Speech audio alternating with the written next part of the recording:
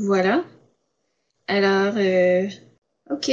Donc, euh, bienvenue tout le monde. C'est un bienvenue là officiel. Alors, euh, ce matin, nous sommes ici pour, euh, je suis ici pour vous parler des pistes de réflexion sur le langage de votre élève.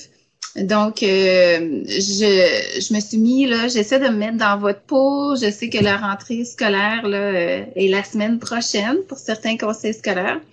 Et puis, euh, je me suis dit, euh, qu'est-ce qui pourrait aider un prof finalement à mieux pister son élève au niveau de son langage? Donc, euh, vous allez voir sur ma première diapo, il y a le mot clic inst du centre pour Institut du centre. Donc, si jamais euh, le cœur vous en dit d'aller écrire quelque chose sur Twitter, euh, vous êtes euh, vous êtes bienvenue à le faire. Alors, voilà. Euh, on va juste vérifier un petit quelque chose. C'est ça. Donc, euh, la première chose, euh, peut-être juste pour avant même de commencer, il y a un formulaire de présence que ce serait vraiment le fun que vous puissiez compléter. C'est le Centre Franco qui nous demande ceci. Donc, vous avez deux façons d'y accéder. C'est soit que vous prenez euh, soit votre téléphone, soit votre euh, tablette, puis vous avez un code QR. Donc, vous pouvez juste euh, scanner votre code QR pour accéder au formulaire ou bien tout simplement là, cliquer sur le lien pour euh, avoir euh, pour pouvoir le compléter. Donc, euh, c'est ça, dans le formulaire, on vous demande votre nom, votre courriel, vous êtes de quel euh, conseil ou quelle euh, école, et puis juste cliquer sur « Je participe à la session de ce matin ». Donc, je vais vous laisser quelques instants pour compléter le formulaire. Puis peut-être quand euh, vous avez terminé. Ah, merci Louis pour le lien pour le formulaire. Euh, quand vous avez terminé, juste dire, me- écrire dans la boîte. euh, peut-être en attendant, oui, c'est ça. En attendant pour que ce soit le fun, au lieu de dire ah, je suis prête, ou peut-être juste m'écrire euh, trois mots qui décrivent euh, vos vacances. Donc, comme ça, on va se faire du fun en même temps. Donc, trois mots qui décrivent vos vacances. En attendant, je peux vous dire les miens. Si j'avais à écrire, probablement j'écrirais camping, hein, parce que moi, j'aime beaucoup faire du camping. J'écrirais euh, soleil, parce que je pense que c'était un, été euh, remarquable pour le soleil. Et puis, je pense que j'écrirais euh, famille, parce que j'ai passé beaucoup de temps là, avec ma famille. Alors, les réponses commencent à rentrer. Roulotte, bière, lecture. OK, c'est le fun. Donc, euh, on a du fun, puis en même temps, on lit un peu. Une petite minute, je vais reculer. Et famille, repos, piscine. Alors, euh, Tina, bravo à toi, une piscine. Toujours le fun avec ces grosses chaleurs-là. Oh, Hélène, chalet, Gaspésie, repos. Hélène, j'imagine, euh, c'était un, euh, record de participation de tourisme pour ce qui est de la Gaspésie. Camping, pêche, famille, OK. Donc, on a euh, un lien en commun, Tina. Euh, moi aussi, j'aime la pêche. Camping, bon, OK, on a des campeurs, c'est fun.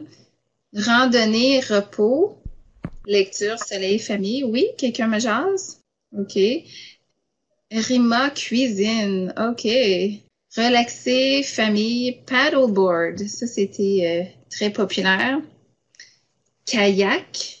Renault. Oh, Annie. OK, j'espère que ça va là, pour euh, débuter la nouvelle année scolaire. Relaxer au soleil, pêche, famille, cuisine. OK, alors on voit des, des gens, là, retraite. Oh, retraite. Wow. OK, Magali. Beaucoup de marches. Désolée pour le retard. Ah, OK, tu peux quand même nous écrire trois mots de tes vacances. Alors, euh, c'est ça, euh, le lien demeure euh, dans le fil de conversation. Donc, merci d'avoir complété là, le formulaire de présence. Alors, euh, je vous remercie ce matin, là, juste de prendre le temps. De, je l'ai dit un petit peu plus tôt, mais euh, de prendre le temps pour jaser euh, langage. Alors, euh, ce qu'on me dit, euh, ah, puis Euh, puis juste avant, c'est ça. J'ai juste des, des petites choses à vous dire. Pour juste au niveau là, du fonctionnement comme tel. Donc, euh, quand vous allez, présentement, je pense que j'entends quelques gens qui n'ont pas mis leur micro en sourdine, donc très, très important pour que la communication puisse bien se faire entre vous et moi. Donc, tout le monde, vous avez un petit micro en haut qui, est vert. Donc, juste cliquez dessus pour euh, qu'il y ait une barre oblique qui puisse euh, indiquer que votre micro est en sourdine. Donc, juste aller voir mes Donc, euh, Amadou, Anne, Annie, si vous pouvez mettre vos micros en sourdine, Joanne, Julie, Tina, Tina, ah, j'imagine Tina 2, tu es en sourdine, OK. Euh, alors, Julie, peut-être encore une fois, tout le monde, juste mettre le micro en sourdine. Puis, en temps et lieu, juste de recliquer sur votre micro. Simplement, Michel, pour te dire que si les personnes n'ont pas activé leur micro, donc peser la première fois, ça se peut qu'il n'y ait pas de barre oblique sur le micro, mais ça ne veut pas dire qu'ils sont pas euh, en sourdine. Ah, OK. Bon, ben merci, merci, on apprend là, avec Adobe Connect. Je suis une madame Google Meet, donc euh, voilà. OK. Euh, et puis, euh, ben, je pense que vous avez déjà commencé à l'utiliser. il se trouve avoir une boîte de conversation. Puis, étant donné que ça va être un atelier très, très dynamique, alors je vous encourage fortement à l'utiliser. moi, je, mon champ d'expertise, je travaille avec les gens, donc c'est important pour moi de communiquer. donc, euh, conversation, ouais, vous pouvez écrire là-dedans, vous pouvez me jaser. Puis l'autre fait important, c'est que la session de ce matin sera enregistrée. Donc, euh, tout ce qu'on dit, qu'on échange, ça va être enregistré. Et puis, euh, c'est le centre qui aura accès à cette formation-là par la suite. Pour ce qui est du lien de la présentation, euh, je vous ai acheminé hier par courriel, je vous ai acheminé une copie pour euh, le participant. Donc, euh, vous pouvez, là, vous avez accès à la formation, mais sinon, il y a beaucoup d'échanges qui vont avoir lieu verbalement. sinon, si jamais vous avez un commentaire puis vous voulez me activer votre caméra, c'est toujours intéressant aussi. Mais comme Louis disait précédemment, je pense que c'est le fun, euh, juste comme pour euh, euh, alléger le réseau, peut-être laisser votre caméra fermée à ce moment-là. Ça marche? OK. Donc, voilà, la session, nous allons l'enregistrer. Et puis, OK. La formation d'aujourd'hui, euh, moi vraiment, mon but premier, c'est de répondre à vos questions. Donc, euh, un petit peu plus tôt euh, cette semaine, je vous ai envoyé un courriel pour dire si vous avez des questions particulières concernant des élèves que vous avez déjà eu, des élèves que vous allez, vous savez déjà là, un petit peu au niveau du profil, je suis là pour y répondre si vous aviez des mises en situation, il vous est arrivé ça au niveau du langage de votre élève, euh, vous vous demandiez quoi faire après. C'est vraiment là, euh, un de mes, buts, euh, d'essayer de répondre à vos questions. Puis aussi, pour vos futurs élèves qui s'en viennent, j'aspire, j'espère aiguiser vos pistes de réflexion. oh, on se pour préciser le, profil langagé là, de vos élèves. Puis aussi, l'autre chose qu'on va faire aussi, c'est euh, un des buts également, c'est euh, que vous puissiez mettre en pratique votre jugement pédagogique à partir de mises en situation. Donc, il va y avoir des petites mises en situation. Puis à partir de là, moi, je vais vous demander c'est quoi là, vos pistes, qu'est-ce que vous feriez là, dans ce cas-là? Euh, donc, ça, c'est mes buts. Puis, euh, juste avant de poursuivre, je vais, vous dire un petit peu, là, euh, moi, euh, mon parcours, j'ai eu la chance de faire ma formation universitaire pour devenir enseignante, donc au cycle primaire moyen. Donc, au tout début de ma carrière, j'ai eu la chance d'enseigner en première, deuxième année. Et puis, euh, j'ai décidé de continuer mes études pour devenir orthophoniste parce que euh, je voulais avoir euh, un lien plus individuel, une relation d'aide plus un à un, puis le langage, c'est quelque chose qui m'a toujours intéressée. Donc, je suis devenue, j'ai continué mes études, je suis devenue orthophoniste. Et puis, lorsque j'ai commencé à travailler, je travaillais là, en privé. Puis j'ai travaillé avec une autre orthophoniste, puis ensuite j'ai ouvert mon propre bureau en orthophonie. Puis à un moment donné, ting ting, j'ai voulu euh, commencer à fonder une famille et puis euh, j'ai commencé à travailler pour euh, le conseil des écoles catholiques du Centre-Est à Ottawa. Et puis là, cette année, ben, ça fait 20 ans que je travaille pour ce conseil-là. et j'adore mon travail, j'adore ce que je fais. Euh, je travaille dans un secteur euh, d'école. Et puis, euh, tout particulièrement, le côté, tout ce qui est surdité, tout ce qui est amplification de système MF, c'est vraiment là, mon dada. Donc, ça fait plusieurs années que j'ai le lead au niveau de ce volet-là dans mon conseil. Et puis, euh, c'est certain qu'en milieu scolaire, je travaille, bonjour ST, je travaille, peut-être ST, juste fermer euh, ta, caméra. Euh, donc, je travaille aussi avec des enfants naturellement qui ont des difficultés de langage, des difficultés de parole, prononciation et certainement des difficultés d'apprentissage comme tel. Euh, puis, juste pour vous dire, je suis maman maintenant de trois garçons. Donc, euh, ça fait un petit peu le tour de qui je suis. Euh, voilà. Donc, on va juste changer de diapo. Juste un instant parce que j'ai deux... je dois changer deux endroits lorsque je change de diapo. OK, alors, j'aimerais ça, ce matin, juste prendre une minute pour vous projeter là, dans le temps lors de votre prochaine première journée d'école. Alors, j'aimerais ça, là, vous êtes libre, là, vous pouvez fermer vos yeux, vous pouvez juste comme penser à ce que je vais vous dire. Alors, nous sommes le 3 septembre 2020, 8h22 du matin. On sent la fébrilité, c'est la première journée d'école. Vous êtes à la cour d'école puis vous attendez. Vous attendez vos amis qui arrivent. Les enfants commencent à arriver après plusieurs mois d'absence. Certains parlent, certains parlent vite, certains communiquent avec d'autres. Léo, lui, dans le coin, il pleure. Il veut pas laisser sa mère. Sean, lui, sautille, il est tout content de revoir Madame Anne. Delilah a juste son masque. Elle parle pas du tout, elle observe. Certains enfants parlent beaucoup, vous adressent la parole. Il y a de la fébrilité dans l'air. Alors là, j'aimerais ça que vous preniez un petit moment pour visualiser vos premiers moments de communication avec vos élèves, puis écrire dans la boîte de conversation ou dire à voix haute juste un mot qui décrit ces moments précis-là. Alors, euh, sourire, hein, sourire avec mes yeux, ému, énergie heureuse, relax, excès, ah, hésitation, timidité. OK. Alors, c'est ça, c'est votre classe, la journée commence. Euh, petit à petit, votre radar s'active. Votre radar pédagogique s'active. Vous voyez vos enfants entrer. Puis là, vous commencez à voir vos questions. Vous commencez à préciser le profil de vos élèves.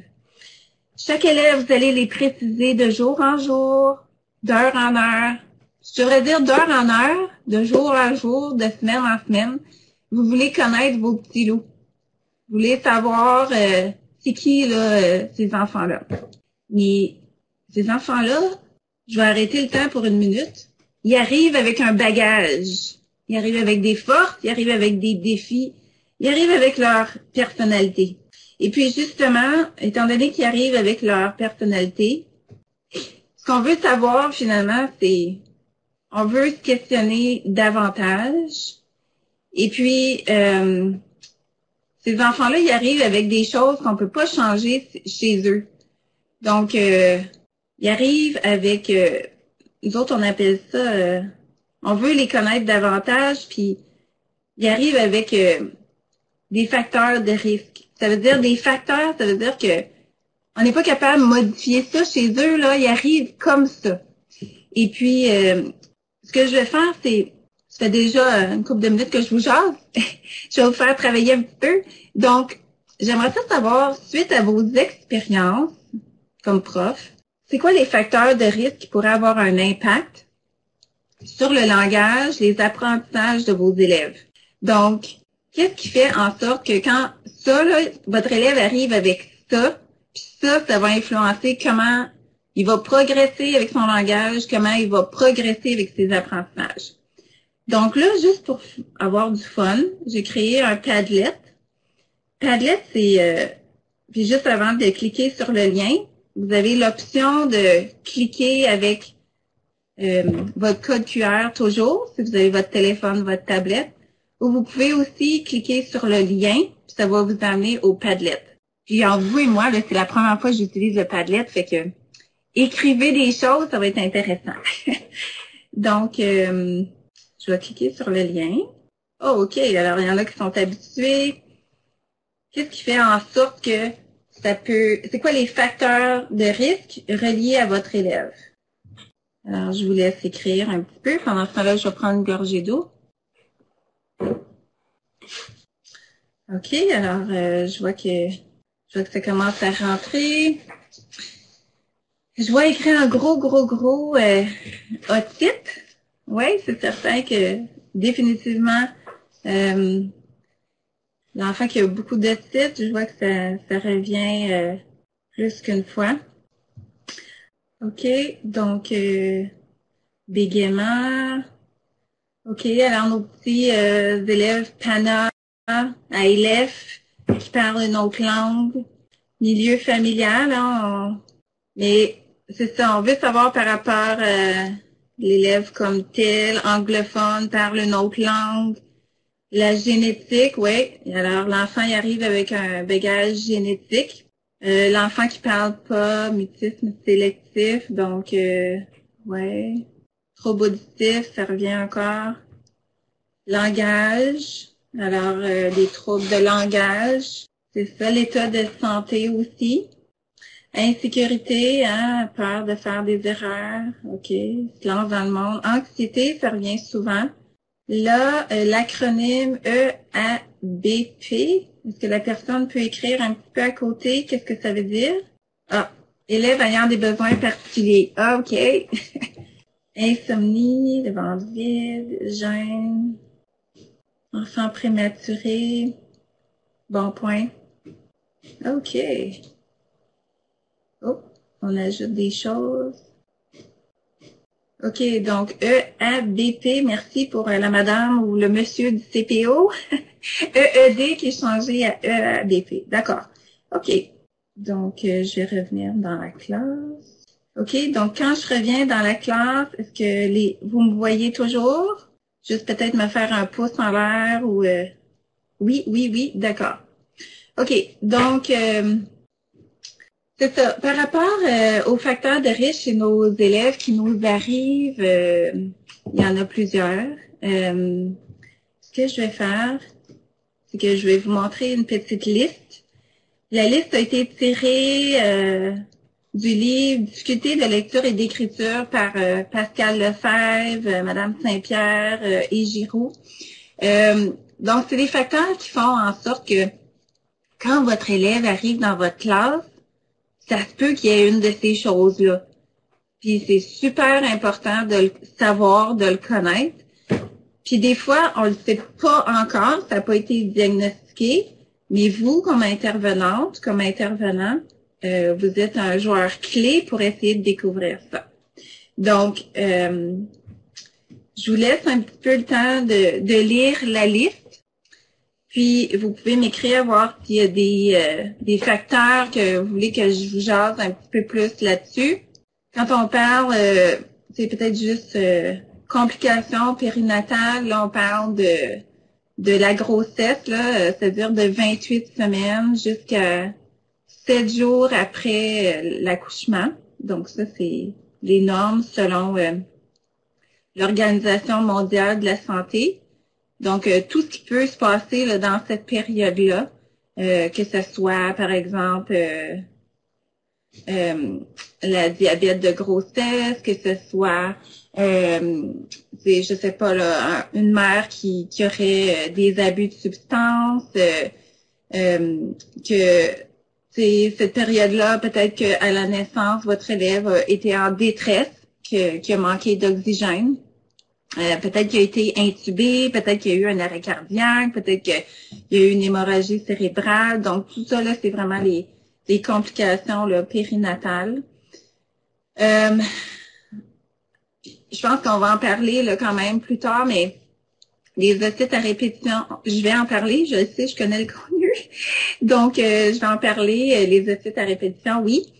Euh, ça se peut que euh, votre élève a déjà comme un trouble cognitif.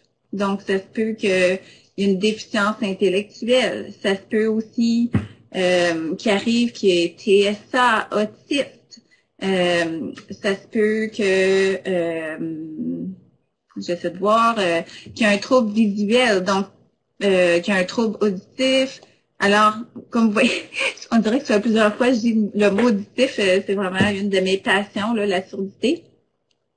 Euh, donc, euh, d'attention, troubles de concentration. Donc, tous ces facteurs-là font en sorte que quand votre élève arrive en salle de classe, après la première sonnerie du premier jour d'école, déjà là, ça peut influencer son apprentissage, euh, la progression de son langage. c'est super important de le savoir. Jasez aux parents, euh, faites un Google Meet pour euh, avoir plus d'informations. important, important, important de connaître vos élèves. c'est avec quel bagage qui arrive. juste un instant. Alors, ça, c'est votre élève. Puis, il y a d'autres choses qui peuvent influencer aussi vos élèves c'est les facteurs de risque reliés à la famille. Puis juste avant, euh, je vois dans la, boîte de conversation que Louis a mis la référence du livre de Pascal Lefebvre, donc difficulté de lecture et d'écriture. Donc, si jamais euh, quelqu'un voudrait euh, lire, c'est un livre super intéressant. voilà, c'est une ressource qui existe. Donc, autre chose qui peut influencer les facteurs de risque, ah, puis juste avant, ouais, c'est bon. C'est les facteurs de risque reliés à la famille. Donc, peut-être écrire dans, dans la boîte de conversation, selon vous, qu'est-ce que, comment est-ce que la famille peut influencer votre élève qui arrive en classe? Qu'est-ce qui peut faire en sorte que ça l'influence? Langue parlée à la maison, ouais. Répondre à leur place. Donc, euh, dans un cas où est-ce que euh, L'enfant a moins la chance de s'exprimer. L'anxiété des parents, ouais, c'est un mot qui revient souvent, ça, l'anxiété, hein. Ouais. Problème de langage chez les parents, c'est un excellent point, Hélène. Donc, euh, dans le sens que euh, il se peut très bien que, comme moi, dans ma clientèle, souvent, souvent, souvent, souvent, mes parents ont des anté mes élèves, c'est-à-dire ont des antécédents de troubles de langage, de troubles d'apprentissage. Alors, euh, ce qu'ils vont dire, ah ouais, euh, moi quand j'étais jeune, là, me semble que ça m'a pris du temps à apprendre à parler. Ou ils vont me dire, euh, ouais, moi apprendre à écrire les mots là, waouh, c'était vraiment dur. Donc ça c'est super présent. également, Tina parler en bébé. Ok, alors. Mm Section des mots, surdité des parents. OK, surdité des parents, oui, on le voit. Couver trop l'enfant. Euh, les accents. OK, alors, euh, Claire, si tu peux écrire un petit peu plus ou euh, qu'est-ce que tu veux dire par les accents? Manque de stimuli à la maison. Oui, tout à fait. Alors, un enfant qui est sous-stimulé, définitivement, ça l'affecte comment il est lorsqu'il arrive dans ta salle de classe. Euh, il y a d'autres choses qui peuvent influencer aussi, c'est euh, le faible niveau socio-économique, euh, le faible niveau de scolarité, parce qu'on sait dans le fond que c'est les parents qui vont appuyer leur enfant au niveau de la progression de, de, leur, leur, apprentissage, voyons.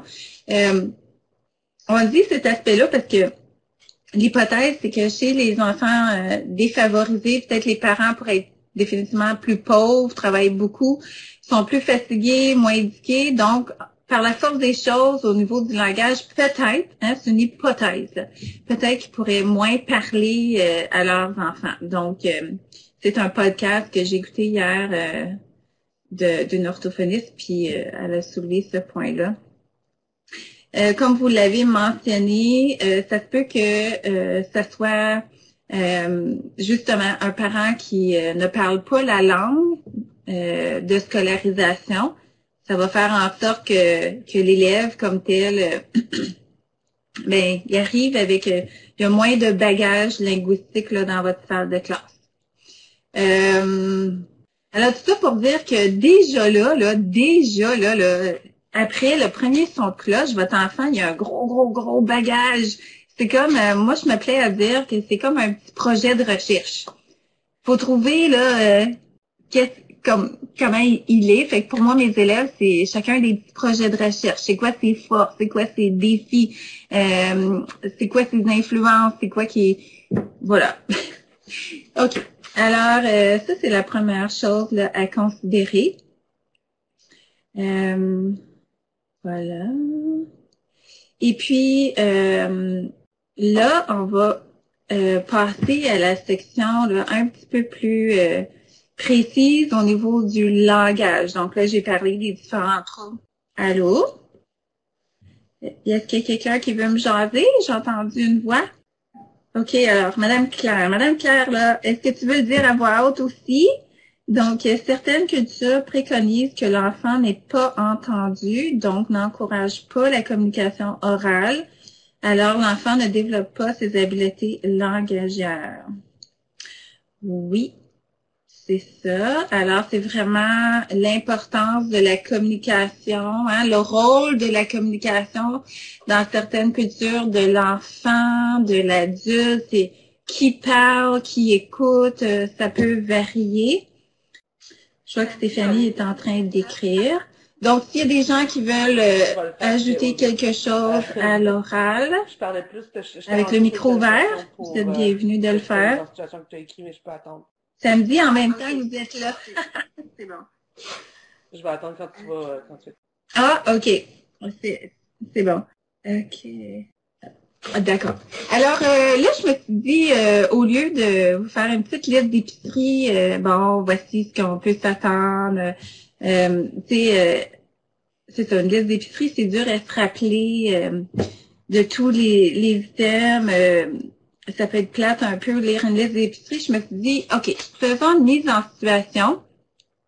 Euh, puis même, peut-être juste avant même de faire la mise en situation, je réalise que j'ai dit que j'étais orthophoniste, mais je vous ai pas dit c'est quoi un orthophoniste. Fait que vraiment, moi, mon champ d'expertise, c'est que je travaille euh, au niveau de, je suis spécialiste de la communication. Donc, ça veut dire que n'importe qui qui, tout ce que tout ce qui est communication, donc euh, tout ce qui comprend la compréhension, que ce soit les concepts, les consignes, les questions, euh, ça fait partie de l'orthophonie.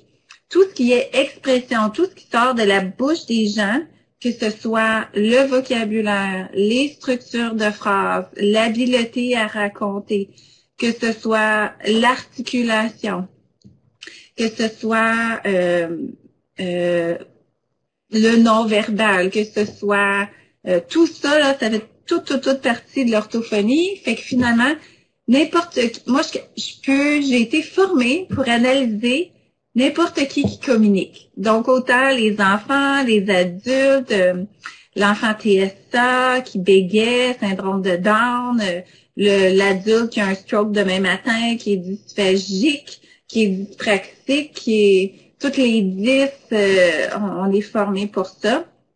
Euh, aussi pour les troubles d'apprentissage, donc au niveau de la lecture, de l'écriture, conscience phonologique. donc, je vous dis ça juste pour parce que des fois je dis ah oui, hein, toi tu travailles les sons. Alors ça va au-delà de ça. C'est vraiment tout ce qui englobe le langage. euh, que ce soit des tableaux de communication pour euh, les élèves qui ne parlent pas ou très peu, que ce soit euh, les systèmes MF, surdité. Donc, c'est très, très, très varié ce qu'on fait. Donc, ceci étant dit, pour nous autres, les grosses catégories, c'est la compréhension. Comment est-ce que l'enfant comprend?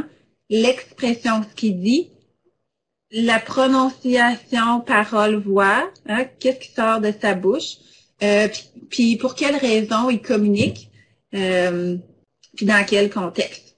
Donc là, on va se pencher un petit peu plus sur le volet compréhension avec la première mise en situation. Donc, euh, sans plus tarder, Adam. Adam qui est en première année. Adam, lui, est souvent distrait, euh, il répond pas nécessairement aux questions posées. Hein, oui, euh, mais il regarde souvent ce que font les autres. Euh, son enseignante remarque qu'il parle fort. Donc, c'est quoi les pistes de réflexion que, que quelles sont les pistes de réflexion de l'enseignante? Donc, ça, ça pourrait être un de vos élèves qui vous arrive euh, la semaine prochaine. Alors, je vais vous laisser écrire un petit peu. Pendant ce temps-là, je vais changer mon autre diapo. OK. Alors, je vous laisse écrire.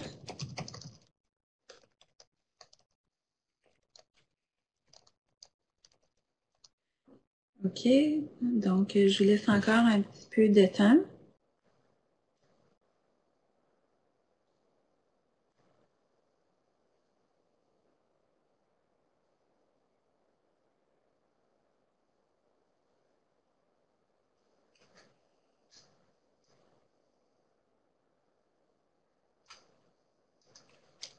OK, alors euh, je vous ai remis la petite mise en situation. Souvent distrait, il répond pas nécessairement aux questions posées. Il regarde souvent ce que font les autres, puis son enseignante remarque qu'il parle fort. Donc, euh, donc, euh, vos pistes de réflexion jusqu'à présent. On se pose la question, est-ce que l'enfant entend bien? J'ai le goût de sourire parce que c'est le premier point que je vais vous parler. Fait que vous m'aviez bien lu. Euh, ça se peut. Ça se peut que l'enfant ait de la difficulté à entendre. Ça fait en sorte qu'il parle fort. Euh, problème d'audition revient. OK. Donc, euh, ça se peut qu'il comprenne tout simplement pas les consignes. Donc, vraiment au niveau anglophone. Euh, oui, anglophone. C'est l'audition en premier. OK. OK, donc euh, on se demande est-ce qu'il y a eu une évaluation audiologique? Est-ce qu'il y a une otite présentement? Est-ce qu'il y a un trouble de langage au niveau de sa compréhension, donc des difficultés réceptives? OK, bon point. Ça se peut qu'il soit autiste. Intéressant, oui. OK, ça se peut que ce soit au niveau de son attention. Il y a quelqu'un qui dit, y a-t-il un autre dépistage euh, auditif euh, autre que celui à la naissance? Peut-être que son estime de soi, OK, bon point. OK, donc euh, voilà. Euh, c'est certainement des super bonnes pistes. Et puis, on va revenir à la présentation. Peut-être une combinaison de tout ça. OK. Donc, c'est ça. Chez notre élève, euh, il y a différents points ou il y a différentes pistes de réflexion qu'on doit avoir pour essayer de déterminer il est où le bobo, là, il est où le problème, pourquoi est-ce qu'il fonctionne pas à son de façon là, maximale, qu'est-ce qui arrive? Puis c'est certain que pour notre Adam, la première chose qu'on se pose comme question, c'est est-ce que Adam entend bien? OK? Donc, euh, comment ça va là, au niveau de ses oreilles? Puis c'est un, un détail là, que c'est-à-dire une piste que vous avez soulevée qui est excellente. Alors, un point de robot pour vous. Euh, donc, euh, est-ce que mon élève entend bien? Euh, puis, pour rendre ça encore le fun, alors je vous ai préparé un petit vidéo. Je vais vous laisser quelques minutes pour écouter la vidéo. Partez pas tout de suite. Juste pour ça va vous parler un petit peu de l'audition. Euh, ben, je vous vole pas le punch, mais euh, je vous donne quelques minutes. Puis lorsque vous avez fini de l'écouter, faites juste m'écrire dans la boîte de conversation que vous êtes revenu. de cette façon-là, je sais que je suis capable de continuer euh, la formation. D'accord? Alors, euh, pour s'y rendre, vous avez un lien qui est indiqué en haut. Euh, puisque les vidéos, là, euh, souvent, quand on essaie de le faire jouer dans les PowerPoint, il y a toujours un problème de son. Donc, chacun chez vous. Donc, je vous laisse écouter cette vidéo-là.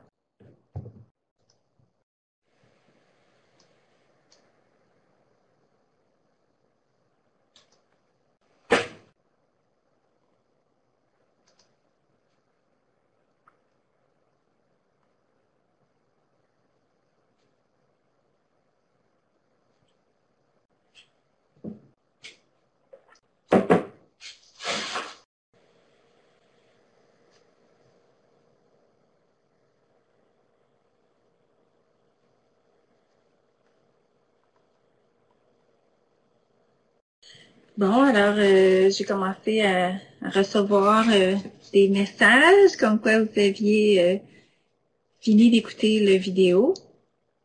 J'aimerais ça vous entendre peut-être concernant est-ce qu'il y a des choses qui vous ont surprises, est-ce que vous avez des questions par rapport au contenu du vidéo? Ou juste un commentaire comme ça. Alors, est-ce qu'il y a quelqu'un qui se lance?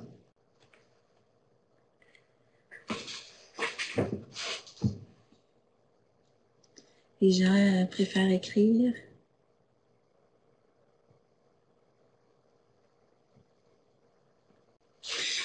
Ben alors, je vois pas de commentaires, donc... Euh... Oh, attends. Je vais. OK. Bon, alors, euh, on a Stéphanie qui est spécialiste en qui est son spécialiste en surdité. Elle a déjà étudié en orthophonie aussi. OK. Euh, OK, donc euh, on a des questions par rapport euh, au type probablement de, de perte comme tel. OK, donc c'est ça. Un enfant qui a une perte auditive, ça peut être, il y a deux catégories, hein, comme vous avez vu, ça dit perte de conduction, ou des fois on entend perte conductive. Alors ça, souvent, c'est chez nos élèves, nos jeunes élèves, c'est dû euh, souvent à cause des otites, l'accumulation de liquide qui se trouve être dans l'oreille moyenne comme telle. Donc, euh, le liquide s'accumule en arrière du tympan et puis euh, il y a de la misère à se déloger. Puis la constance du liquide peut changer, ce qui fait en sorte que l'audition peut fluctuer. Donc, ça se peut que votre élève euh, une journée, euh, ils entendent bien, mais là, plus comme euh, à l'automne, c'est plus comme les mois d'automne, d'hiver, que là, ah, vous allez remarquer qu'il va dire comme soit que tu vas avoir une expression faciale, soit qu'il va demander euh, quoi, madame, ou, ou soit qu'il ne demandera pas. Dans ce temps-là, c'est plus, faut plus aller voir l'élève comme tel. Donc, la constance du liquide peut changer. Puis, la perte de conduction peut fluctuer. Euh, c'est pour ça que ce type de perte-là, euh, soyez aux aguets de, de vos élèves, euh, entre autres, qui sont toujours congestionnés. Donc, si votre enfant n'a pas d'allergie, d'infection des voies respiratoires supérieures, d'asthme, ou il ne devrait pas là, être congestionné non-stop. Donc, si c'est le cas, euh, allez demander aux parents euh, s'il y a déjà eu une consultation médicale à cet effet-là. Puis, euh, puis même si c'est chronique, là, qu'il n'arrête pas des congestionner, puis ça coule, puis là, avec le masque, ça va peut-être être un petit peu plus dur à voir, mais quand même, vous pouvez l'entendre, la congestion comme ça. Là. Euh, à ce moment-là, demandez euh, une consultation auprès de l'ORL, en anglais ENT, donc ORL, otorino-laryngologiste, pour euh, euh, analyser un petit peu plus euh, pourquoi il est toujours congestionné, c'est-tu les adénoïdes qui sont trop grosses, qui empêchent là, c'est un bon flot d'air au niveau du septum nasal, au niveau du nez comme tel. Donc, si votre enfant, c'est ça, je reviens à l'aspect otite. Donc, est-ce que vous savez, ça peut prendre combien de jours avant que le liquide parte? Euh, que, qui s'écoule d'une oreille lorsqu'un enfant euh, a du liquide dans l'oreille. Alors, on écrit des chiffres ou on dit des chiffres. Ça peut prendre jusqu'à combien de jours avant que le liquide parte? Sept jours, ça peut être très long. OK, d'autres chiffres? Un dernier chiffre. Quelques mois. OK. Donc, euh, le liquide pourrait prendre jusqu'à 40 jours avant de s'enlever. Euh, S'il n'y a pas d'autres infections en temps et lieu. Donc, euh, c'est pour ça que euh, le médecin, des fois, il va dire Ah, il a fait combien de titres? Et puis, si ça devient chronique, à ce moment-là, on recommande des fois de l'insertion de tubes. Et puis, l'insertion de tubes, ce qui se passe, c'est qu'ils vont faire une petite incision au niveau du tympan, installer le tube, et là, le liquide peut s'écouler. Puis, juste pour votre information à vous, quand on dit que les tubes tombent, ça dépend du type de tube, parce que c'est pas normal pour un tympan d'avoir un corps étranger. Donc, il va essayer de il cicatrise, puis il expulse le tympan en dehors du euh, tympan. C'est ça, il expulse le tube en dehors du tympan. Pour, il est en train de se cicatriser. Et puis, euh, si on a un tube, euh, le bout le bout arrondi, c'est plus facile d'expulser comparativement à un tube en T, où est-ce que c'est plus difficile à expulser, puis là, ça peut prendre euh, euh, quelques. Le tube peut rester dans l'oreille quelques années. Sinon, l'autre type de tube, habituellement, c'est 8 à 10 mois. Alors, ça pour dire que pour revenir à la question initiale, il peut y avoir le type de perte euh, de conduction. Ça pourrait être aussi un bouchon de cire, donc du cérumen, de la cire, qui fait en sorte que la, la, conduction euh, se fait moins bien, le son passe moins bien. Ça pourrait être un corps étranger. Euh, on a déjà vu là, des corps étrangers là, euh, dans le canal auditif externe. Donc, sinon, les autres types de pertes, ben, ça se passe un petit peu plus loin. Ah, puis aussi, juste avant, les malformations aussi, l'atrésie, la microtie, une, une une oreille plus petite, une oreille euh, où est-ce que c'est fermé ici. Euh, sinon, il y a le type de perte neurosensorielle. Ça, c'est une perte qui est plus permanente. Parce que, comme vous avez vu dans la vidéo, le dommage se fait au niveau des cellules ciliées. Donc, dans la petite cochlée, là, il y a des cellules. Puis, une fois qu'il y a du dommage euh, à l'intérieur, ben ça, c'est irréversible. On peut pas revenir en arrière. C'est pour ça que, juste un petit coup, euh, les premiers cils dans la cochlée, ce sont des sons aigus. Et donc, euh, c'est les premiers sons qu'on perd lorsqu'on vieillit. donc, euh, il se peut que les gens plus vieux aient plus de facilité à entendre, à percevoir les voix masculines que les voix féminines. Parce que les voix masculines, en principe, sont plus graves. Fin de la parenthèse. Et euh, pour revenir au type de perte, il peut y avoir des pertes qui sont mixtes, c'est-à-dire conduction, peut-être euh, une petite otite par-dessus une perte neurosensorielle. Donc, euh, c'est ce qui pourrait expliquer les différents types de pertes. Euh, je vais juste aller voir les commentaires. Naturellement, euh, pour les les types de pertes, ben, on va recommander chez certains élèves, c'est une perte permanente, naturellement le port de prothèses auditives. Et puis, euh, ça se peut que ce soit une oreille, deux oreilles. Puis, euh, c'est pas vrai que les pertes auditives sont identiques dans les deux oreilles. Euh, ça, ça, varie. Euh, puis, dans certains cas, on peut utiliser, recommander l'utilisation d'un système NF aussi. Donc, ceci étant dit, ce n'est pas euh, pour les parents. Mon expérience là, ça fait 28 années que je travaille maintenant. C'est pas c'est pas naturel pour les parents de juste vous aller faire évaluer l'audition de leur enfant. Donc, s'il vous plaît, s'il vous plaît, recommandez à vos parents, si vous avez des doutes, si on revient à Adam, par exemple, une de mes premières recommandations, ce serait justement de s'assurer qu'une euh, évaluation audiologique a été effectuée pour s'assurer qu'il entend bien. Donc, euh, c'est soit qu'ils passent par son leur médecin de famille et eux les réfèrent, ça prend plus de temps, ou on peut juste appeler une clinique audiologique euh, en privé, prendre rendez-vous puis en avoir le cœur net. Ça marche? Donc, à ce point-ci, est-ce que vous avez des questions concernant l'audition, concernant les pertes auditives, que ce soit l'évaluation de logique, que ce soit l'utilisation de systèmes MF, que ce soit n'importe quoi. Je suis là pour vous. Si vous n'avez rien, peut-être écrire non en voulant dire euh, vous n'avez pas de questions. Ça s'écrit là facilement. Ça va, ça va, ça va, ça va. OK, non. OK, bon, voilà. Ça va, OK, merci.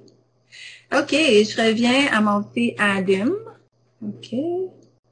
Bon, alors, comme vous l'avez mentionné, ça se peut que euh, notre petit loup, là, Adam, qui est souvent distrait, ça se peut que les difficultés du langage réceptif subdonné soient en raison de ses capacités attentionnelles. Donc, est-ce qu'il demeure attentif? Euh, est-ce qu'il est facilement distrait? Est-ce qu'il est agité? Donc, euh, j'aurais le goût de vous entendre euh, à ce moment-ci, à savoir, c'est vous euh, qui, êtes dans les salles de classe jour après jour. C'est quoi chez vous vos drapeaux rouges qui indiquent que votre élève a des difficultés avec son attention? Qu'est-ce qui fait en sorte que vous faites Ah, OK, peut-être qu'il y a des difficultés au niveau de son attention. Alors, vous pouvez me jaser aussi, là, au lieu d'écrire. J'aime ça vous entendre. Alors, il y a quelqu'un qui se risque? Excellent. Peut-être juste dire ton prénom avant, comme ça, moi, je suis capable de dire, ah, merci Anne ou merci. Euh. oui, c'est beau, je veux juste Alors, c'est clair. Allô? Euh, alors, euh, au niveau de l'attention, moi, parce que j'œuvre au niveau de l'acquisition linguistique du français. Donc, pour moi, c'est la première chose qui me vient à l'idée, c'est la langue, le langage. Euh, parce que l'enfant comprend pas ce que ce qu'il était en train de lui dire. Et puis, donc, il, il observe les autres élèves pour au moins être capable de suivre la routine, mais c'est pas nécessaire qu'il comprenne ce que tu es en train de. Puis, comment tu, euh, qu'est-ce qui fait en sorte, Claire, que tu vas dire, OK, peut-être que c'est pas linguistique, c'est plus au niveau de l'attention comme tel. Ben, c'est que l'enfant portera pas attention s'il comprend pas qu'est-ce que tu es en train de dire. Comment il manifeste ça, là? Qu'est-ce qu'il fait comme... Euh? Oh, pardon, pardon. Il va, ben, hmm, il fait pas ce que les autres font. Alors, il respecte pas les consignes. Euh, il regarde autour, comme il va, il va rester debout en milieu de la classe, puis il va regarder autour, il va regarder les élèves. Euh, euh, il va essayer de jouer des jeux comme pendant qu'il est en train de décrire ou expliquer quelque chose. Il va, il va faire autre chose. Euh, euh, il va bien, il va simplement dire I don't understand what you're saying il va me regarder avec, un, regard comme blanc, là, comme uh, what do you okay. alors, euh, ouais, alors c'est pour ça pour moi la, distraction puis l'attention, c'est que il comprend pas qu'est-ce qu'il est en train de dire. Bon, parfait. Est-ce qu'il y en a une autre personne qui qui veut dire c'est quoi les mais ça tombe aussi dans ton quatre points. Tu sais, quand comprend-il la langue française? Pour moi, les deux peuvent toujours Oui, c'est ça, parce que des fois, c'est, c'est difficile de distinguer, tu sais, c'est plus l'attention, est-ce que c'est plus la langue comme telle? Euh, puis, je veux dire, dans les difficultés de langage de compréhension soupçonnée, ça veut pas dire que son que l'enfant peut en avoir juste un. Donc, ça peut être comme un cumulatif, tu sais, ça pourrait être euh, des vraies difficultés de langage avec une perte auditive, les deux ensemble. C'est pas obligé d'avoir juste un à la fois. OK. Alors, euh, il y en a d'autres, d'autres manifestations que les gens écrivent, c'est justement euh, l'enfant qui est facilement distrait. Hein, c'est vraiment euh, qu'est-ce qui ressort. on a nos, nos, élèves qui accordent la même, même, même importance avec tout ce qu'ils entendent. Donc, que ce soit comme moi, mon élève, là, quand je lui parle, ça peut être ma voix par rapport au tic, tic, tic d'une horloge. Je croirais que dans toutes les classes, il devrait y avoir des horloges silencieuses. ça peut être un bruit qu'il entend en dehors de la porte. Euh, tout ça, lui, comme c'est au même niveau, il réagit. Euh, c'est la même chose au niveau visuel, donc euh, tous les distracteurs visuels. Euh, c'est un enfant qui peut manquer d'inhibition. Inhibition, un autre mot, ça serait frein. Donc, il n'y a pas de frein comme tel. Euh, c'est un défi pour lui de s'empêcher de faire quelque chose ou d'arrêter de faire quelque chose. Puis souvent, on va entendre, c'est plus fort que lui, c'est plus fort qu'elle. Euh, ça peut être un enfant qui manque d'autorégulation. Euh, ça peut être un enfant aussi que, au niveau des émotions, euh, il y a de la difficulté à les identifier, à les comprendre. Euh, définitivement, ça peut être un enfant qu'au niveau de la gestion du temps, wow, c'est difficile. Alors toi, tu vas me remettre ton travail, euh, euh, je sais pas là, euh, dans 30 minutes. Là, qu'est-ce qu'on s'aperçoit Wow, il reste 5 minutes. Puis au niveau de la gestion de la tâche, là, il perçoit la tâche immense. Puis pour lui, initiation, commencer, c'est très difficile. Euh, priorisation à la tâche. Tu deux tâches à faire, laquelle est la plus importante. Euh, au niveau de la planification, alors chez nos plus vieux, j'ai ça, ça, ça à faire. OK, je vais commencer par quoi? Probablement que je commencerai pas par euh, l'ordre de d'effectuer la tâche. ça peut varier. Que je veux dire, c'est que ça respectera pas nécessairement l'ordre d'importance. OK. Alors, euh, c'est ça. Ça se peut que notre petite notre petit Adam a des difficultés au niveau de l'attention comme tel. OK. OK. Ça se peut aussi que euh, votre enfant, là, quand il va arriver en salle de classe, qu'il ait de la difficulté euh, à bien comprendre votre consigne, ça se peut que c'est en raison qu'il est préoccupé par ce qu'il vit. OK? Donc, là, on arrive, euh, on est dans une pandémie présentement. Vos enfants, vos élèves ont vécu plein, plein, plein d'affaires, plein d'événements, plein de situations. Donc, que ce soit positif, que ce soit euh, négatif, hein, il y a des foyers que malheureusement, c'est moins jojo. Donc, euh, ça se peut là, que votre enfant va arriver en salle de classe puis va penser à ce qu'il vit. donc, tout tout cet aspect-là là, dans, dans le contexte familial, ça peut euh, influencer la compréhension là, de vos élèves, euh, vos enfants qui sont hyper sensibles, euh, le port du masque, toutes les, les, les consignes de sécurité, d'hygiène, juste ça, ça peut le déconcentrer, ça peut comme donc attendez-vous à ce qu'en début d'année, la compréhension de vos consignes soit réduite peut-être pour certains, parce qu'on est en train de gérer une situation exceptionnelle. Donc, avant de demander à votre orthophoniste d'intervenir, analysez la situation, qu'est-ce qui arrive, comment ça va, comment est-ce que qui, qui euh, compose avec la situation. Alors, ça se peut que votre élève ait des difficultés à mémoriser les informations verbales. Alors, Adam, la consigne qu'il a reçue, peut-être que euh, la consigne avait deux étapes, puis il se rappelle juste la dernière partie. Donc, ça se peut que ce soit euh, une question de mémoire comme telle. Puis on sait que la mémoire, elle fonctionne en trois temps. Alors, le premier temps, c'est que c'est l'encodage. Donc, on enregistre les données. La deuxième chose, c'est le stockage. Donc, on les conserve. Puis la le troisième temps, c'est le rappel. Donc, c'est la capacité où l'on peut restituer le souvenir. Quand il y a un bris de mémoire, ce qui se passe, c'est que le message, soit qu'il n'est pas clair, ou l'information n'a pas été jugée assez intéressante pour qu'il euh, pour que l'enfant ou la personne X se rappelle des informations.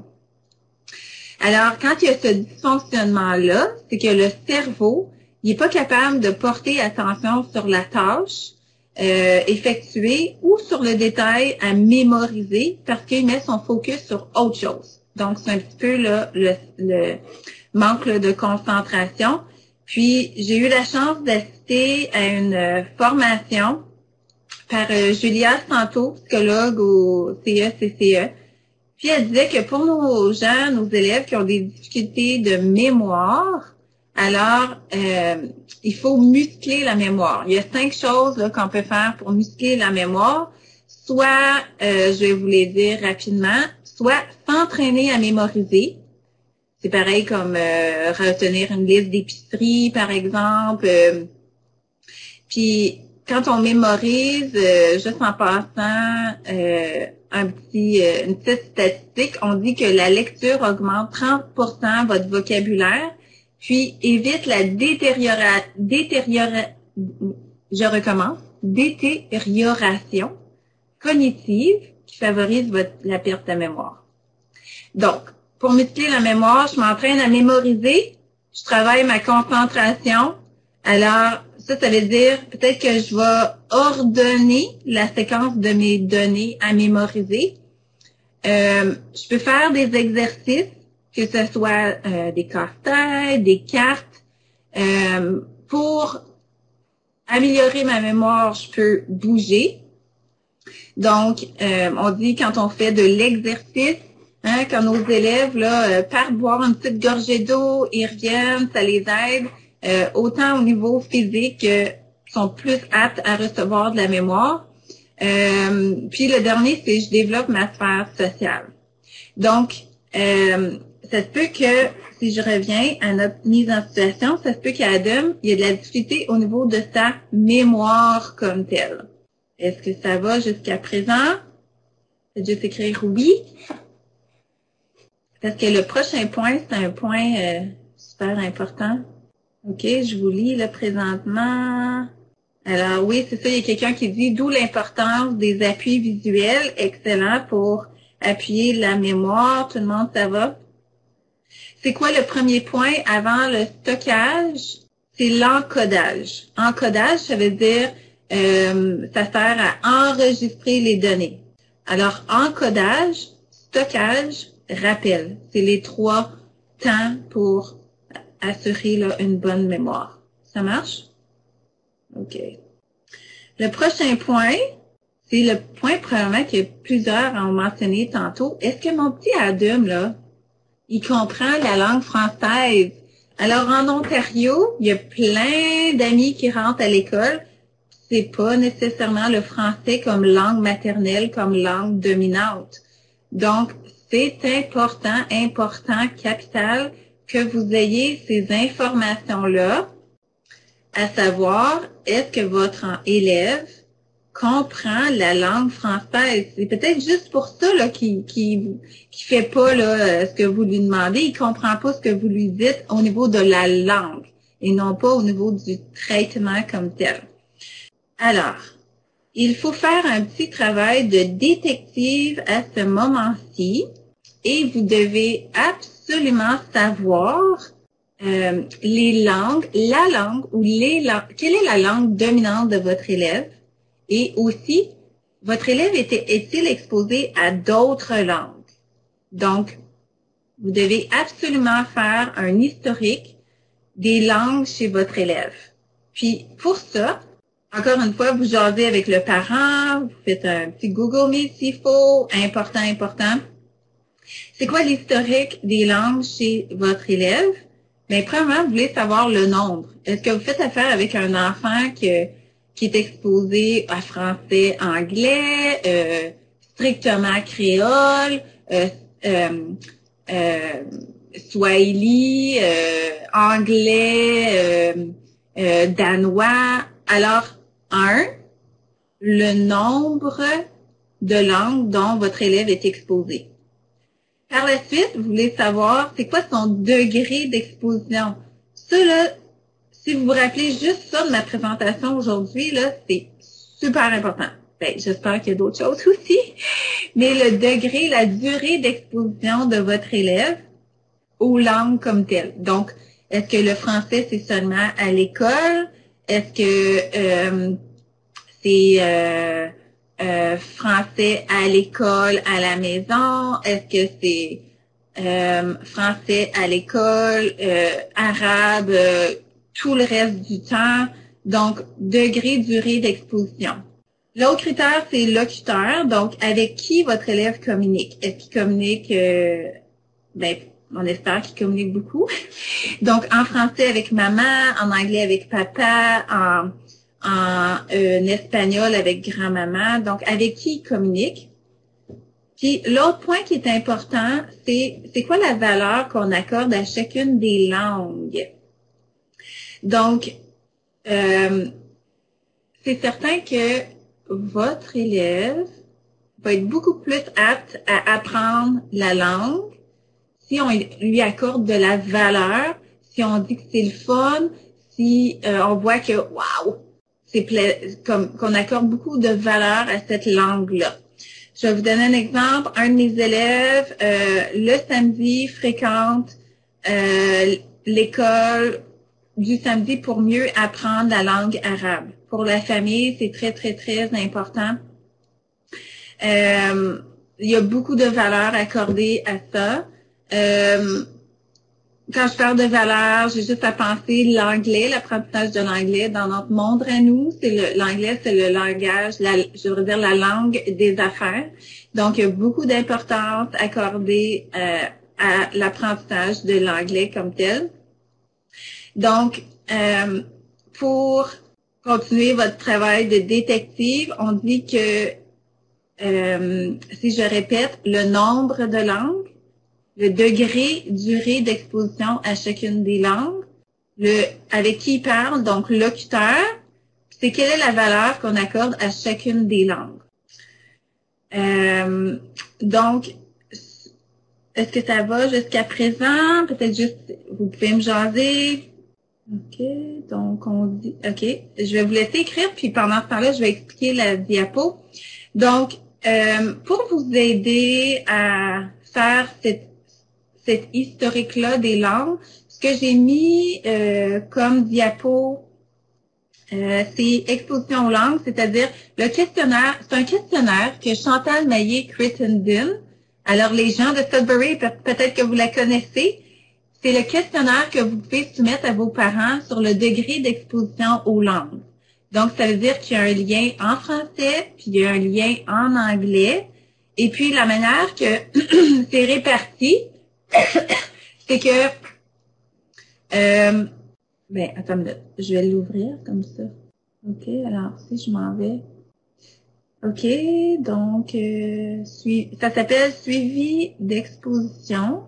Et puis, la manière que ça marche, c'est qu'on a la langue communautaire, puis euh, la langue cible. Donc, la manière que ça marche, c'est que... Euh, OK, attends une petite minute. OK. Donc, c'est quoi euh, les conversations à la maison, à l'école, programme avant, après l'école, les activités parascolaires? Puis, la première feuille, ça, c'est pour le lundi. Après ça, le mardi. Puis là, vous faites tous les jours de la semaine. Puis à la fin, vous pouvez faire euh, une petite équation qui vous dit euh, c'est quoi euh, le total dans la semaine des langues qui ont été parlées divisé par le pourcentage des heures, le pourcentage du temps. Et puis là, vous avez un degré d'exposition à la langue. Donc, on dit que on doit atteindre 40% du temps d'éveil par semaine pour bien comprendre la langue seconde, par exemple, la langue qu'on est en train euh, d'apprendre. Puis, alors 40% pour la comprendre, 60% pour la parler. Très bien. Ça marche? Euh, je vais revenir à ma présentation, puis je vais aller vous lire. Donc, vous avez ce petit questionnaire-là que vous pouvez donner à vos parents qui vous permet d'avoir une idée, c'est quoi la durée d'exposition aux langues comme telles? Alors, j'entends un micro. Est-ce que les gens avaient des questions? OK, alors vous avez de la difficulté. Est-ce que vous avez de la difficulté à voir le formulaire? C'est ça que je comprends? Oui, euh, Michel. OK, donc quand... Oui, j'ai cliqué sur le lien. Oui. Ah, je vois pas le formulaire euh, cliquer tout, là. Il y a quelque OK, mais quand tu vois, quand tu cliques sur le lien, ça t'amène sur le site. Ça s'appelle euh, bot, botboot.com. C'est ça que tu vois? Euh, non, moi je tombe sur. Ah oui, oui. OK, alors là, vous devez descendre avec votre souris, vous descendez, vous descendez. Il n'y a pas de lien direct, là. Vous descendez jusqu'à temps que ce soit écrit. On descend, descend, descend. Là. Ça, va s'appeler suivi d'exposition langageur scolaire. C'est à peu près aux trois quarts euh, du site? Est-ce que vous le voyez? Oui. Et puis, si vous descendez un petit peu plus bas, une minute. OK. Alors, le premier lien, c'est pour le site en français, puis le deuxième lien, c'est pour le site en anglais. Mais c'est ça, faut dérouler, joup, joup, joup, puis se rendre jusqu'au formulaire comme tel. OK, alors pour ce qui est de la valeur qu'on accorde à la langue, Euh, naturellement, c'est pas une question que, que j'aurais tendance à parler, à demander aux parents. Je me vois mal dire euh, est-ce que vous accordez beaucoup de valeur au français?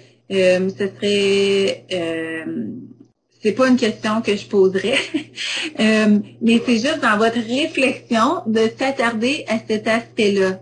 Alors, euh, par exemple, euh, si un enfant est forcé à aller à l'école en français, puis euh, mettons que c'est une situation que les parents sont séparés, puis c'est vraiment euh, le père qui veut que son enfant fréquente une école francophone, puis pas la mère, par exemple, ben peut-être que pour la mère, la valeur d'apprendre le français, peut-être qu'elle, elle voulait absolument que son jeune apprenne l'anglais. Peut-être à ce moment-là, pour elle, elle accorde moins de valeur. C'est plus dans ce sens-là. Mais définitivement, je poserai pas la question euh, directement aux parents.